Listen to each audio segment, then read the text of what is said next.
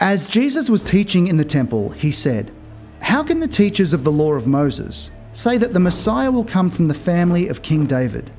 The Holy Spirit led David to say, The Lord said to my Lord, Sit at my right side until I make your enemies into a footstool for you. If David called the Messiah his Lord, how can the Messiah be his son? The large crowd enjoyed listening to Jesus teach. As Jesus was teaching, he said, Guard against the teachers of the law of Moses. They love to walk around in long robes and be greeted in the market. They like the front seats in the meeting places and the best seats at the banquets.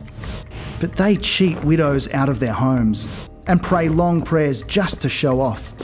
They will be punished most of all. Jesus was sitting in the temple near the offering box and watching people put in their gifts. He noticed that many rich people were giving a lot of money. Finally, a poor widow came up and put in two coins that were worth only a few pennies. Jesus told his disciples to gather around him. Then he said, I tell you that this poor widow has put in more than all the others. Everyone else gave what they didn't need, but she is very poor and gave everything she had. Now she doesn't have a cent to live on.